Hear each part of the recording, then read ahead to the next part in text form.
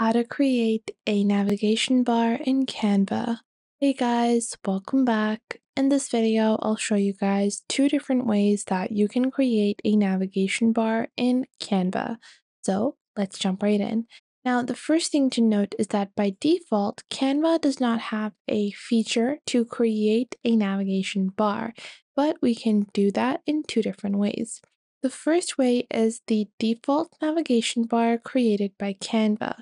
It takes each section's name and converts it into a section where it is going to be mentioned in the navigation bar. To use this default navigation bar, click on Publish Website on the top right. Once you click on Publish Website, click on your Publish settings. Click on Advanced Settings and you should be able to find navigation settings. Now you will see for me navigation settings are directly on the top page where it says whether I want to resize it on mobile devices or include navigation menus.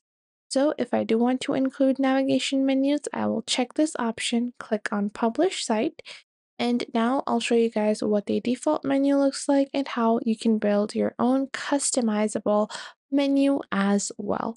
So if I click on visit website over here on the top right, we have a simple navigation menu. However, this navigation menu cannot be customized, the color can't be customized, you can't add your own logo. So to build a website where you can add your own logo in the navigation bar, your own sections, you're going to follow a really simple method. First off, click on Elements on the left and then go into Shapes. Pick out a square shape and then just place it at the top of your first page. Once you do that, just resize your page like this. And what I do recommend is that you take the first page elements and move them to the bottom ever so slightly. Make a little bit of space for your header. Once you've done that, you can choose your header color from the top left. I want to opt for a gray color, a darker gray color, because I want to use white text on top. Now, after I have done that, it's time to add my company logo. So I'm just using a default logo. I recommend you guys use your own logos for your businesses. So let's say this is my logo, which is just MS. And I'm just going to resize my logo and place it on the top right like so and you should see purple lines are going to appear to help you with the alignment. Now click on your logo, okay? This is really important. And then click on these three dots. Because you want your logo to usually link to your home page, you're going to click on link and then link it to the home page.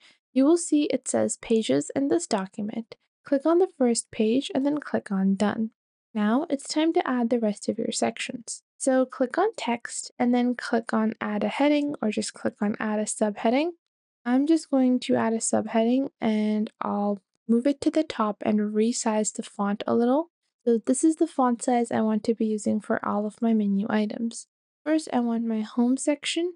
Now make sure you're not typing this all in one section. Instead, you want to do this as I'm doing over here. You want different font blocks. I'm going to first add this and I'll change the font by clicking on the top left and I'll be using this font. No, I don't think this looks nice.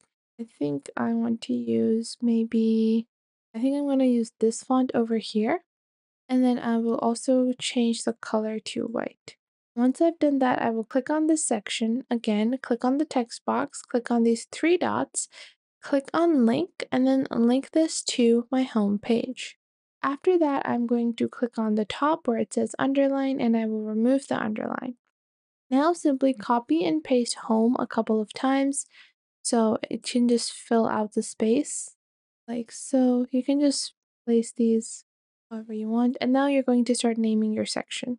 So my next section is my about me section and now I'm going to increase the size of the block and then I will click on edit link and instead of the first document being linked, I want it to link to my second document and then I'll remove the underline. Now I will link the third section, which I can just look at from here, which is my background. And then the, so this is going to be background. And then I'll edit the text as well to say background like this.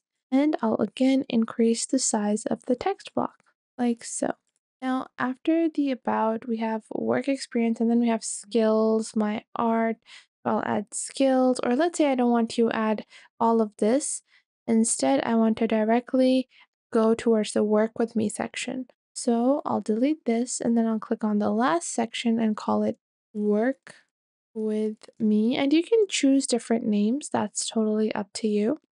And then you are going to again do a right click or just click on the three dots or your section, edit the link, and edit it to your chosen section in your website. Once you have completed all this, hold Command and then press Command on your keyboard and then select all of these or press Shift and then select all of these and then click on Tidy Up under Space Evenly. Then you can place them all together and they have, you know, equidistant sizing. Now I'm going to place this like so, and if I want to add more design elements, let's say I want my header to have lines or stripes, I can add those as well, but I think this looks pretty nice for my design. Now, once I've completed, I can click on publish website and I'll click on republish my website and you guys will see the difference. Now, make sure to uncheck the option for the default navigation menu when you create your own navigation menu in Canva and then republish your website because otherwise it will have two navigation menus within. We're just going to do that and then click on view website. Now, as you guys can see, this is my navigation menu, this is my home page. Then I can go to the about me section, then I can go into the work with me section.